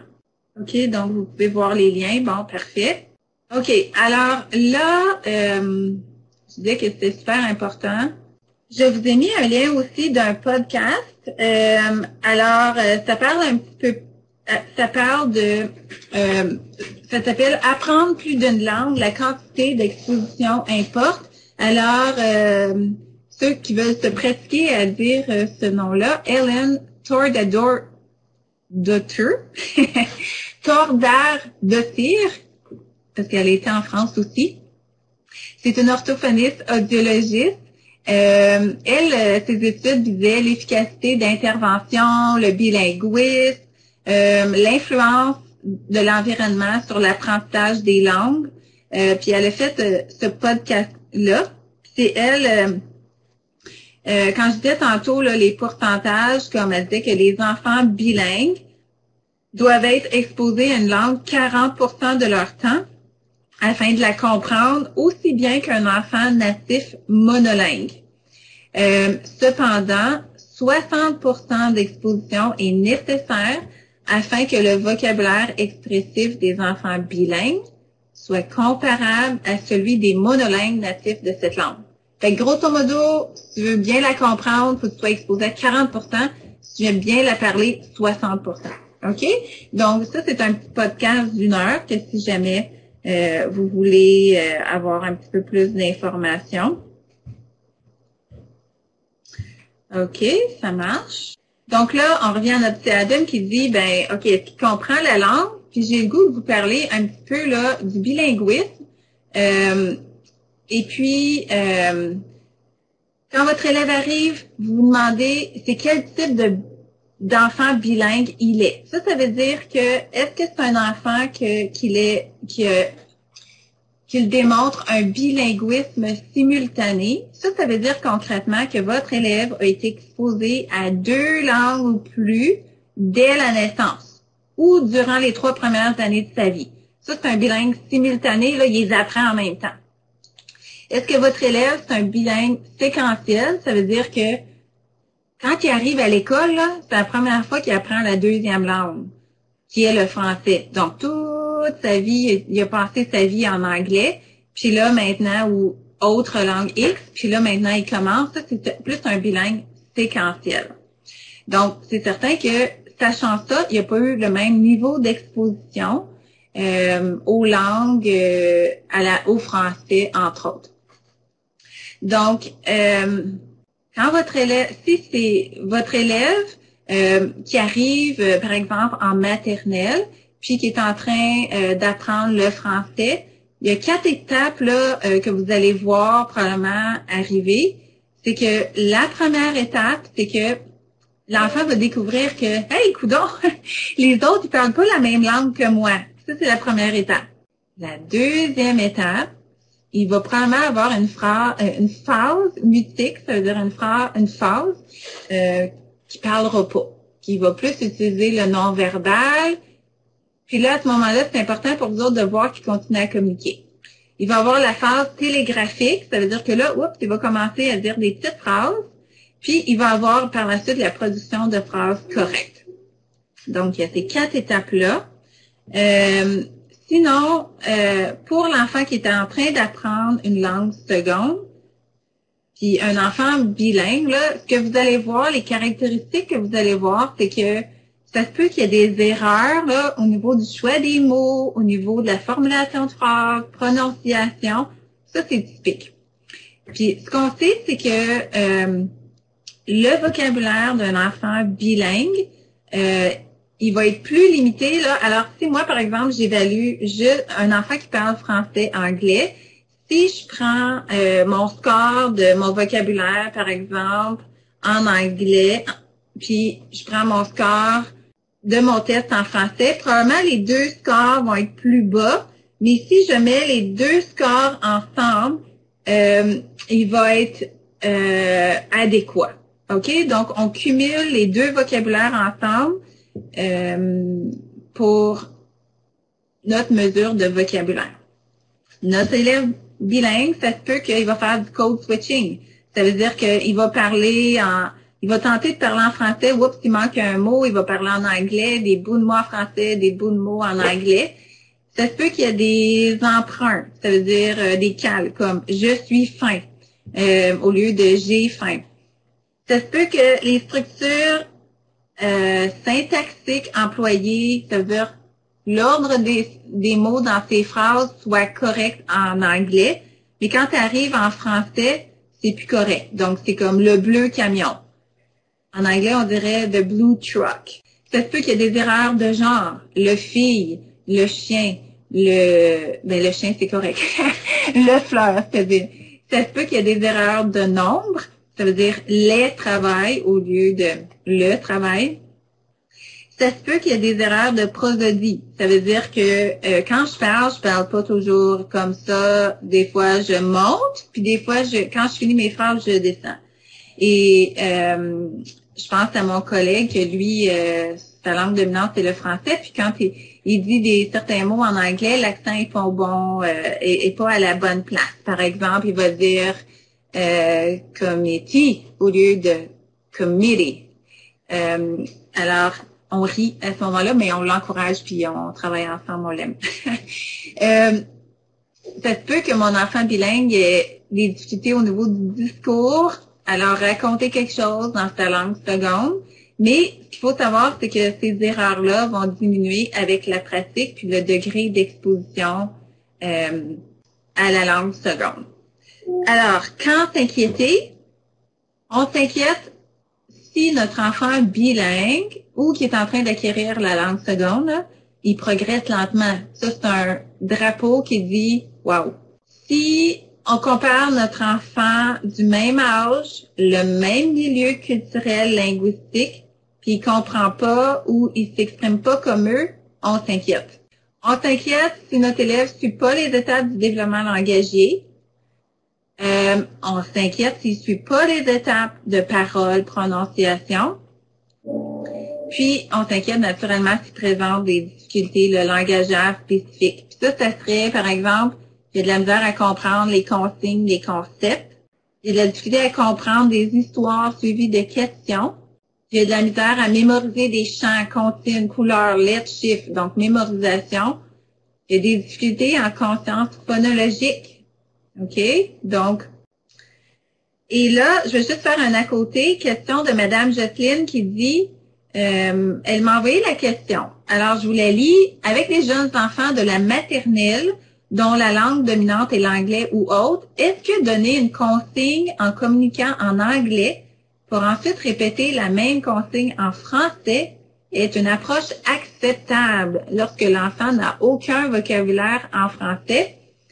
Alors, moi, ma réponse, c'est que oui, c'est une bonne stratégie de donner la consigne en anglais, par exemple, à l'élève, puis de la traduire en français par la suite. Euh, ce qu'on veut, là, c'est que on veut que l'enfant soit intéressé à communiquer en français. Donc, faut qu'il soit positif, faut qu'il trouve ça le fun, puis faut qu'on transmette le coup de cœur de la langue. Donc, oui, puis je sais, là, on est dans des établissements francophones, mais au tout début, juste pour tisser ce lien-là, moi, je pense que c'est important euh, qu'ils puissent au moins comprendre, puis au fur et à mesure, on estompe la pratique. Donc, ça veut dire que au fur et à mesure, on oublie la partie en anglais puis on le dit juste en français. Mais si c'est un élève qui arrive au tout, tout, tout début, euh, c'est important.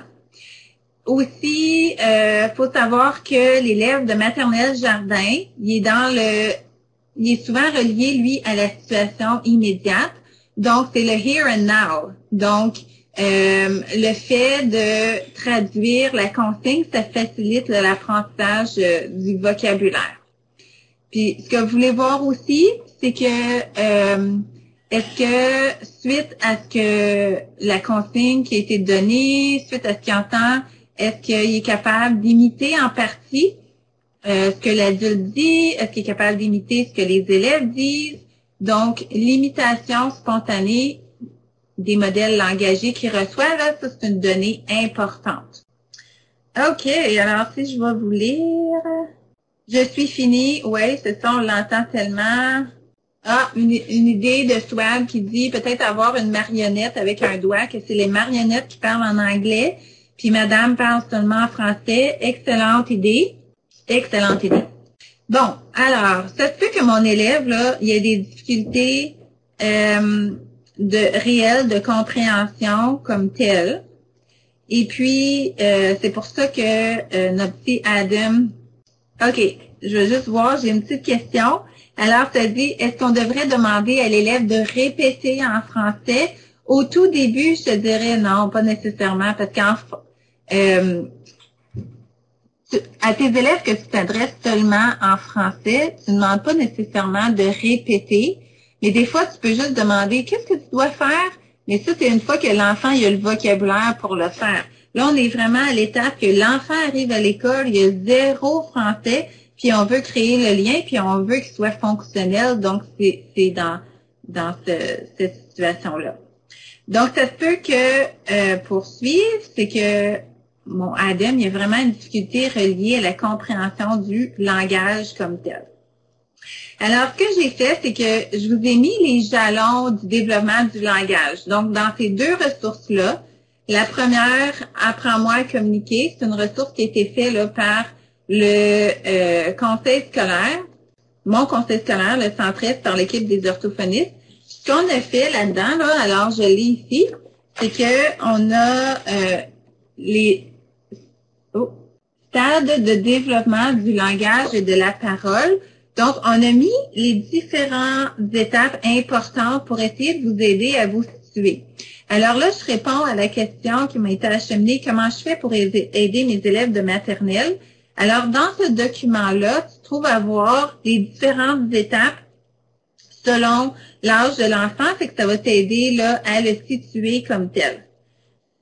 Alors, je passerai pas à travers tout de suite, mais euh, vous avez cette ressource-là puis je vous ai mis aussi les étapes clés de la communication de premiers mots.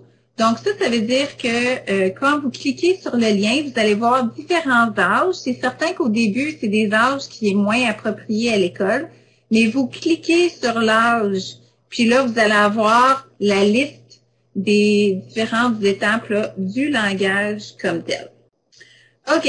Autre mise en situation. Ça, c'est mon moi, je veux le bleu chose. Oui, dessus la glace, ah, puis le prochain, c'est vraiment une de mes élèves. Oui, dessus la glace après glissé, mais mon ami Churchill avait tenu ma main pour aider moi à rester dessus la glace. C'est quoi vos réactions? Alors, vous pouvez me dire? L'enfant, dans sa tête, le traduit de l'anglais en français. Il connaissait les mots en français, puis il a structuré sa phrase en français selon la langue anglaise. Oui, OK. Alors, euh, ILF, OK, structure de phrase. Oui.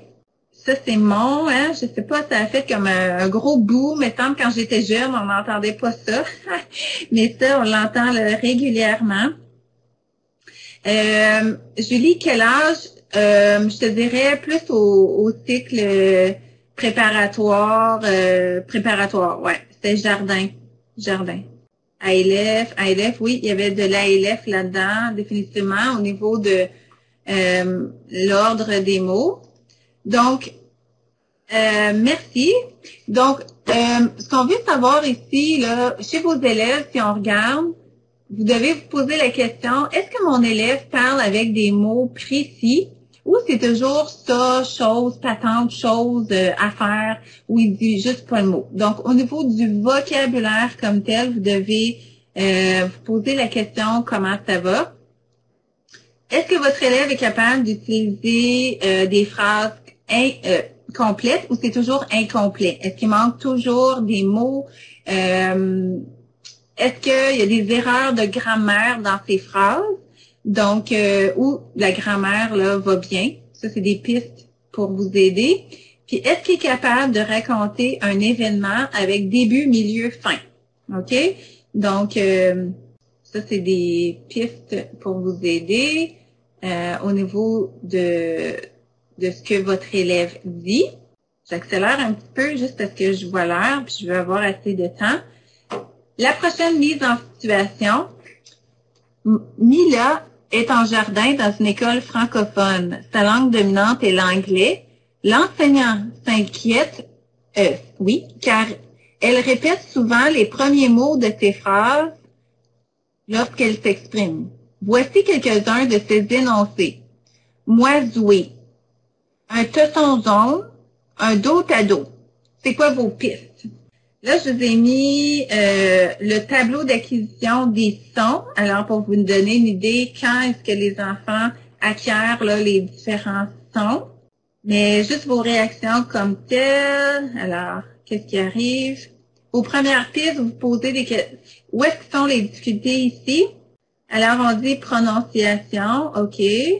Défi en conscience phono. Le J, le R, OK.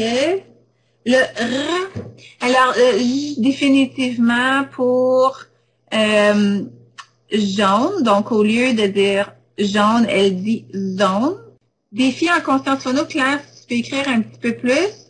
OK. Euh, ne sait pas comment placer sa bouche.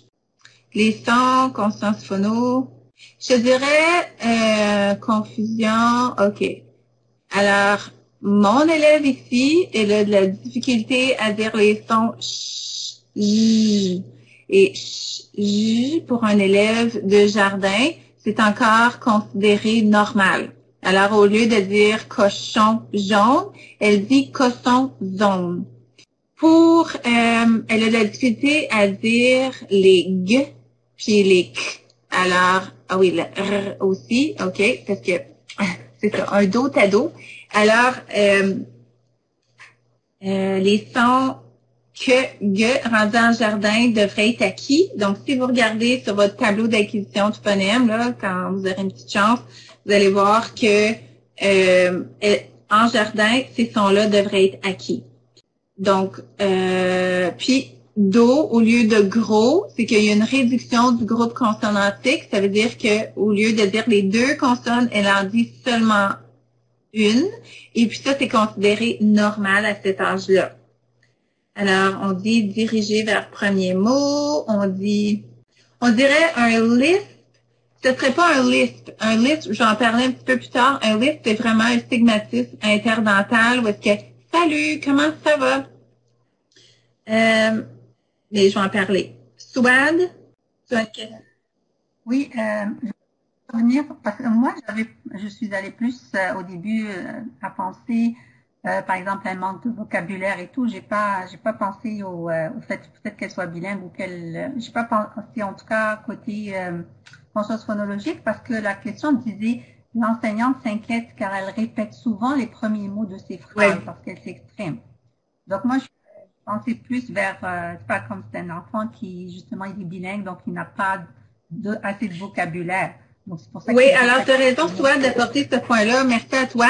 Euh, J'aurais dû peut-être euh, écrire dans mon parce que mon exemple avait deux points.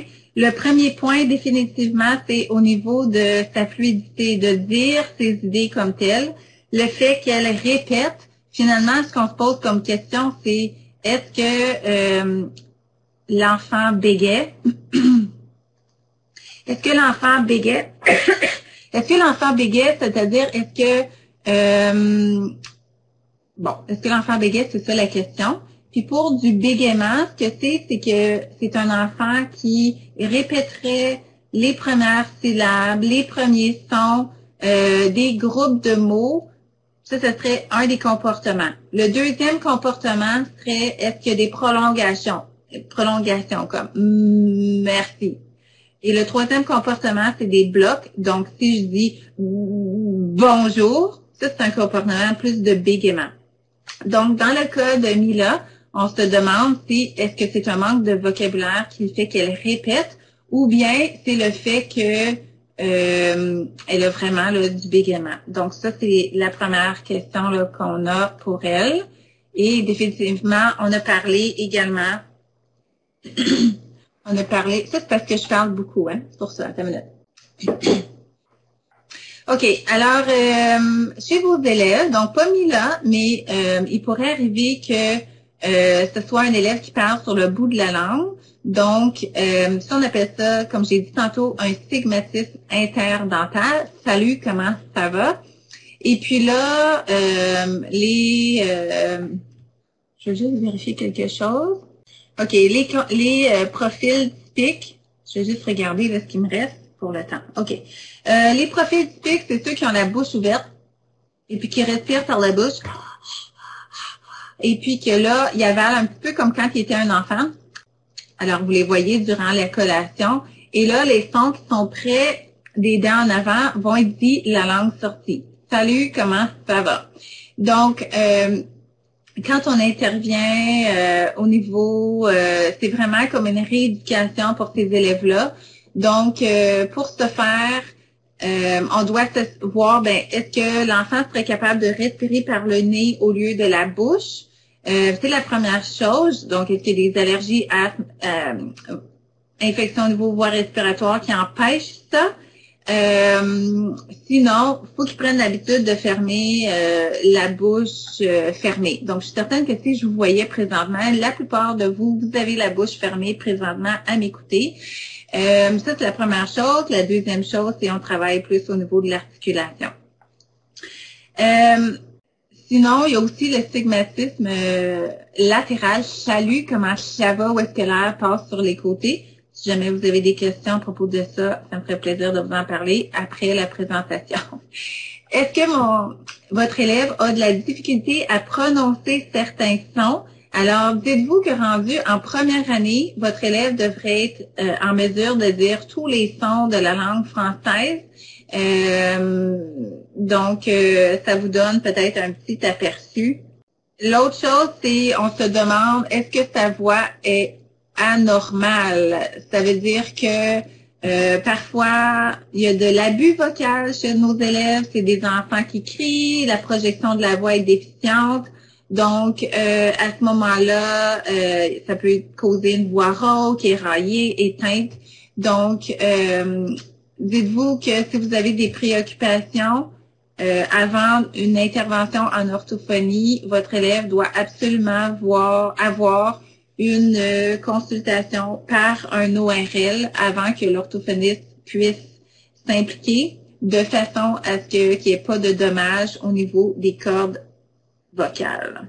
Ça, c'est le volet plus parole. Euh, vidéo sur le développement du langage, je vais le laisser là pour l'instant, puis je vais juste aller à la prochaine diapo, juste parce que je veux avoir assez de temps. Encore une fois, ce sont les deux ressources que je vous ai euh, laissées pour que vous puissiez feuilleter au niveau des différentes étapes, parce que je sais que on veut savoir euh, à quel âge l'enfant devrait avoir acquis certaines choses. Et puis, on parle aussi de la communication sociale, les habiletés pragmatiques. Tout ce que c'est, c'est, euh, dans le fond, je communique pour quelle raison, je communique dans quel contexte, et puis, euh, Communication sociale, habileté pragmatique, c'est que présentement, euh, il y a des règles de communication, par exemple les tours de parole, respecter le sujet, maintien d'un sujet de conversation. Euh, j'ai des raisons pour communiquer. Je peux je vous raconter quelque chose, je peux vous poser une question, je peux commenter. Puis, je dois m'adapter à mon interlocuteur. Donc, ça veut dire que euh, je dois être en mesure de réparer les bris de communication, euh, ça rentre aussi dans utiliser le langage pour socialiser. Alors, je suis allée avec euh, une population, euh, les enfants autistes, parce que cet aspect-là, c'est vraiment plus difficile pour eux. Et puis, j'ai créé un petit sondage, quelques questions, et puis j'aimerais ça qu'on puisse y répondre. Alors, chez un enfant TSA verbal, donc, euh, est-ce que j'ai on jase un petit peu. Est-ce que mon enfant TSA de type verbal, qui a des difficultés avec sa communication sociale, est-ce qu'il accorde généralement beaucoup d'importance au langage? Vrai ou faux? Alors, je vous demande de voter. Faux, tout le monde a raison. C'est faux. La prochaine question, est-ce que mon élève peut être, peut-il être indifférent aux questions qui lui sont posées? Vrai ou faux? Excellent. C'est vrai. Le prochain, juste un instant. Est-ce qu'il comprend, euh, le, comprend-elle le langage figuré très facilement? Faux. A-t-elle de la difficulté à initier, maintenir, mettre fin à une conversation? Vrai. Super. Le prochain, est-ce qu'il s'adapte à son interlocuteur facilement? Interprète-t-il facilement le contexte langagier? Vous êtes super bon. Faux. Est-ce qu'il peut utiliser les mots qu'il a inventés? Vrai. Bonne réponse.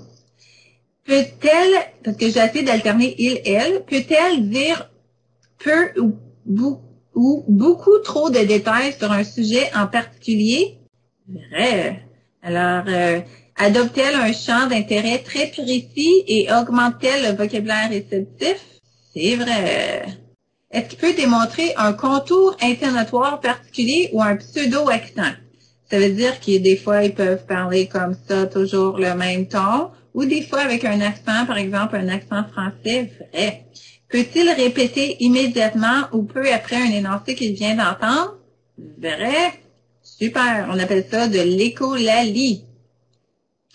Donc, euh, euh, il me reste un instant à vous montrer euh, c'est ça. Donc, euh, je vais juste vérifier. Afin de, de vous aider là dans ouvrir. Est-ce que vous voyez mon document piste de réflexion des difficultés langagières? Est-ce que vous pouvez me le dire à l'oral? Oui. Excellent. Donc, excellent. Super. Donc, euh, je vous ai concocté ce document-là où est-ce que là, ça va être vraiment ordonné de façon séquentielle vos pistes de réflexion. Donc, euh, il y a un petit rappel, c'est quoi le langage, c'est quoi la parole, c'est quoi la langue. On a parlé des facteurs de risque reliés à l'enfant. Alors, vous cochez oui, non, oui, non, oui, non. Quels sont les antécédents linguistiques? Euh, les difficultés du langage réceptif soupçonné, ça c'est pour vous aider à préciser le profil. Alors, on a parlé perte, on a parlé mémoire, comprendre des difficultés réelles. Euh, au niveau du langage expressif, vocabulaire, structure de phrase, morpho-syntaxe, morphologie, grammaire, discours, on a parlé de la parole. De la parole. Excuse-moi, on voit juste un tableau, par ah! exemple. On n'a pas comme on n'a pas tout ce que tu dis. OK, ben merci à toi. OK, ben merci à toi. OK, ben alors euh, c'est très bien. Je vais vous l'acheminer. Une minute. Je vais, je vais... Merci. Euh, puis là, est-ce qu'il est ici? Oui, OK. Alors là, est-ce que vous le voyez? Oui, là, on peut. OK, cool. OK, cool. Donc euh, là, je recommence, mais vous voyez, toute l'information que j'ai dite est organisée vraiment de façon séquentielle. Et puis, la première page comme telle, c'est vraiment au niveau du langage à l'oral. Et euh, je ne savais pas combien de temps là, qu'il me resterait à la fin, donc je vous ai quand même fait une petite partie sur euh, vos pistes probables pour euh, langage écrit, que ce soit conscience phono, que ce soit euh, les composantes sous-jacentes du langage écrit, que ce soit euh, composantes lecture, écriture. Alors, ça vous donne des pistes. Puis à la fin de chaque côté de votre document, vous avez quelles sont vos prochaines étapes du langage écrit ou du langage oral pour essayer de mieux pister, mieux euh, comprendre euh, vos élèves comme tels. Alors, euh, pour répondre à la question, est-ce que je vais envoyer ce formulaire-là? oui, je vais vous l'envoyer par courriel, la même chose que j'ai fait hier avec la présentation PowerPoint. Donc, je vais vous l'envoyer définitivement. Et puis, je pense que ça, ça va résumer vraiment là, les, les grands points. c'est un cadeau, un cadeau de fin de vacances pour vous. Et puis, définitivement, vous allez pouvoir l'utiliser. Euh, donc, euh, j'aurais vraiment aimé ça vous montrer le petit vidéo. OK, donc euh, Stéphanie, regardez qu'est-ce qu'on va faire. Alors, pendant que ça revient, ah oui, vous avez un lien pour le formulaire à compléter. Ce qu'on me dit, c'est que c'est le questionnaire de satisfaction par le Centre Franco. Alors, je vous remercie de le compléter. C'est important, important, si vous voulez que les instituts puissent se poursuivre. Et puis pour toi, Stéphanie, euh, ce que je vais faire, c'est que regarde, tu, as différentes, euh, mon adresse courriel. Juste m'envoyer peut-être un courriel, puis à ce moment-là, je pourrais t'envoyer une copie de l'outil comme tel. Mais je reviens à ceux qui n'ont pas eu la chance de cliquer sur le lien.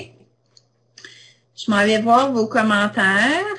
Donc, euh, si vous voulez, juste comme à la fin de la formation, là, prenez une petite minute juste pour écouter le vidéo euh, qui se trouve à la diapo 23. Ça, ça va vraiment compléter la formation de ce matin. Elle résume là, très, très bien, juste comme le développement, en trois minutes, euh, le langage. Puis comme ça, ça va vraiment OK. Donc, est-ce que vous avez des questions, des commentaires? Il reste trois minutes, tout le monde. Et puis, euh, des gens sont en train d'écrire. J'essaie de vous lire? Alors, ça dit merci. Je vais vous envoyer l'outil. Oui, oui. Euh, bon, alors, euh, OK. Donc, Claire, donc, aimé la formation, c'est ce que je comprends. OK. Alors, euh, je pense que si vous avez fini de compléter le formulaire, j'aimerais euh, laisser la parole à Louis pour qu'il puisse euh, vous donner le dernier mot de la journée. Ça me fait plaisir de vous d'interagir avec vous. Ben, écoute, merci Michel. premièrement, ben, je voudrais te remercier pour cette excellente formation. Hein, moi, j'ai appris plein de choses. Je veux dire, je pense que ce que tu nous as présenté, aujourd'hui serait très utile euh, dans nos classes avec euh, nos élèves. Et puis, euh, puis je veux aussi te féliciter parce que je pense que tu as réussi à nous faire participer. Hein, je veux dire, dans la boîte de clavardage, je pense qu'elle est rouge, la boîte de... Elle a, elle a travaillé très fort, la boîte de clavardage. Merci tout le monde pour votre participation aujourd'hui. Et puis, deux petites annonces. Je tiens à vous mentionner que si vous avez manqué des bouts de cette formation, L'enregistrement sera disponible à partir de lundi sur le site internet euh, du Centre Franco. Merci de, compléter le questionnaire de satisfaction. C'est super apprécié et super important. Et puis finalement, eh ben, si vous n'avez pas eu la chance de participer à la chasse au trésor, votre dernière chance, c'est demain matin. Et puis, si vous vous dites, ah ben, j'ai, ben, j'ai pas écouté les autres indices, eh bien, ils sont euh, disponibles en rafale sur le site Internet. Et puis, pour votre information, demain, euh, on, aujourd'hui, on parlait de vie saine et demain, on va parler des arts. Donc, une ressource, les ressources qui parlent des arts. Voilà, c'est tout. Encore une fois, Michel, merci. Ce fut euh, une formation très valable et très intéressante. Et puis, je veux souhaiter à tout le monde une belle journée. Alors, euh, bonne rentrée tout le monde, puis ça va bien aller. Euh, moi, je vais rester en ligne un petit peu juste pour lire vos derniers commentaires, mais bonne rentrée. Belle formation. Bye. Et euh, j'avais une petite question pour toi. pour le masque, pour le masque clair, comme invisible, le, le, tu peux voir la bouche, est-ce que tu recommandes ça pour la maternelle mm-hmm. et jusqu'à jusqu'à quel âge? Pour les enseignants, comme est-ce que tu recommanderais ça pour les éducatrices puis euh, les enseignants? Euh, parce que là, tu vois, OK. Euh, parce que là, finalement, présentement, ce qui arrive, c'est que tu as les masques en dessus, tu as les masques clairs, puis tu as les, les masques clairs tout le long, puis tu as les visières. Puis là, le gros débat, finalement, c'est que est-ce qu'on veut donner plus mm. l'accès aux enfants pour la lecture labiale ou on veut euh, donner l'accès plus au euh, la perception auditive? Euh, puis je regarde mon téléphone parce que ce matin, j'ai justement, j'ai une collègue qui, qui m'a envoyé un article que je pourrais te l'acheminer qui dit que c'est quoi la meilleure perception auditive selon ouais comme ça. Je sais pas si ben, tu peux voir. comme je vois les, différents types. Puis là, ouais, c'est ça. Alors les diagrammes. OK, les diagrammes, ça dit finalement euh, c'est quoi, euh, selon quel type de masque il y a le plus d'erreurs de perception auditive. OK? Donc, euh, puis le masque qui a le si on prend juste au niveau de l'audition comme telle, on dit que la situation gagnante, ce serait tissu plus un touchscreen, ça veut dire un micro de système MF. Oui. Puis euh, c'est quasiment ex avec micro clair avec touchscreen. Donc pour moi, si justement c'est mon comité de cet après-midi, on se penche sur le meilleur masque à se procurer pour nos élèves malentendants. C'est ça le gros débat. Euh, je pense que si ça peut être masque clair avec système MF, ça serait comme dans les conditions idéales. L'information qui me manque, c'est par rapport à la contamination, euh, par exemple bureau de santé, parce qu'au point de départ, euh, tu portes un masque justement pour la contamination. Puis après, tu poses la question pour euh, perception auditive, perception euh, labiale comme telle, l'accès. Euh, donc là, tu vois, puis le problème avec masque, c'est on essaie de trouver un masque qui a le moins de buée possible. Parce que certains masques, ils vont buer au bout de 30 minutes, puis là, ils vont dire utilise du, du savon, puis dans une heure, moi j'ai une rencontre euh, avec mon ordre professionnel pour les orthophonistes qui travaillent en milieu ah, scolaire, puis ils vont nous recommander un masque à ce moment-là selon l'ordre comme tel, euh, à savoir qu'est-ce qui devrait être recommandé, parce que je vais t'avouer franchement, si moi je fais de la parole avec un petit loup puis on voit pas ma bouche, euh, bonne chance. Mais peut-être que là, présentement, je vais juste travailler en virtuel, puis j'ai pas besoin de masque, tu sais. donc, qu'est-ce que je peux faire, c'est que je peux t'envoyer je peux t'envoyer euh, peut-être une copie de l'article. Oui, ça Puis là, euh, tu peux lire euh, c'est quoi là, qu'est-ce qu'ils disent par rapport Parce que au choix du masque. Puis j'ai aussi Chio, moi je connais bien la directrice au niveau de, orthophonie, puis elle m'a envoyé une petite vidéo qui dit que la perception, tu sais qu'il y a un effet, là, porter un masque finalement, ça va réduire tes fréquences hautes. Fait que tous les, les sons comme le le le, le, le TH, par exemple, euh, ça, ça a une atteinte au niveau de ces sons-là. Donc, à un moment donné, ça, ça revient à un choix. Euh, parce que vous autres, c'est quel conseil et qu'est-ce que vous allez faire? Ben non, c'est ça. Euh, j'étais juste curieuse parce que moi, j'étais éducatrice, donc je travaille en jardin. Puis j'étais juste curieuse quand on fait de la conscience phonologique avec ces petits cocos-là, puis qu'on montre la bonne structure comme le m, le p, tu sais, comme de bien placer pour faire le bon son, comment qu'on peut l'enseigner. Là, C'était juste ça, là. fait que moi, c'était juste pour voir est-ce que tu recommandes. C'est ça. Ben, tu sais, peut-être que ben, peut-être que dans le fond, si c'est toi qui les achètes, tu pourrais te procurer deux ouais, mais nous, on peut pas. Donc, si c'est euh, Oh, nous, il faut qu'on prenne. On peut pas. On peut pas prendre un masque différent. Nous, c'est euh, le masque, c'est le conseil qu'ils nous donne, c'est les masques bleus qu'on a, nous. On peut pas apporter nos propres masques. Ah, OK. Fait que c'est pour ça. J'étais juste curieuse dans ta perception si tu recommandes qu'on ait comme un masque transparent pour que les enfants voient quand on fait des activités de conscience phonologique avec les, les sons puis tout ça, si c'est mieux comme, j'étais juste curieuse. Ben, je veux dire, si tu n'as pas le choix, ben, tu viens de répondre à ta question, tu pourras